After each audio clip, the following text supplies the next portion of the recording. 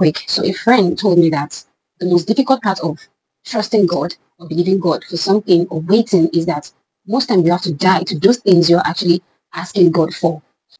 Good morning. Good morning. Good morning. How are you doing? Hope you're fine.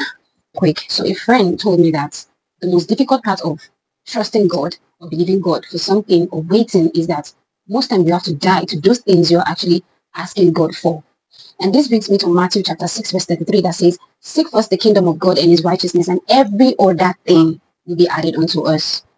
So this means what um, qualify us to get what we are asking for uh, or to achieve what we've been praying for is for us to die of those things.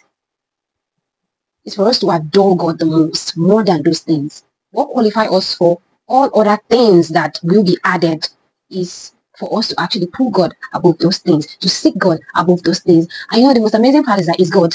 He knows when you adore those things more than him. You know, when you love those things you're praying for, is a promotion, is a is a money, is a is a, is a marriage. He knows what when you adore those things more than him. He can tell. So at the end of the whole thing, I think what really matters now, what God wants to achieve through this is he wants to be glorified in those things that we value so much. He wants to be glorified. He wants to be valued above those things. And then sometimes we are we are we are we are, we are overwhelmed.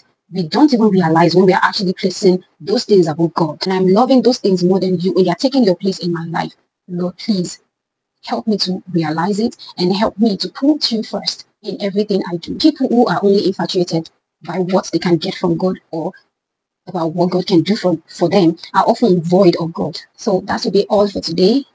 I aim to inspire and have a good week as we pound out on this day. And I pray that God will help us all to place Him above our desire, our wants in the mighty name of Jesus. So have a good week. I love you all. Bye.